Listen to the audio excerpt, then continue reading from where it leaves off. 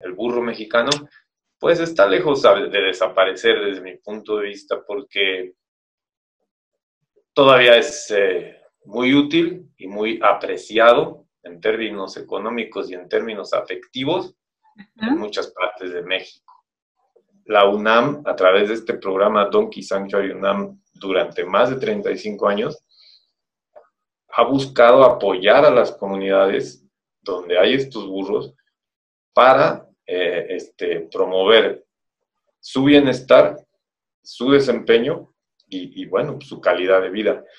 Y que nos demos cuenta que el burro es un animal que le ha dado mucho a México. De hecho, José Vasconcelos en su libro este, que, se llama Breve Historia de México, eh, le dedica un par de páginas al burro mexicano, ¿no? Y lo hace de una manera padrísima, que hasta dice que debería de haber un monumento al burro, porque el burro sí vino a ayudar al mexicano.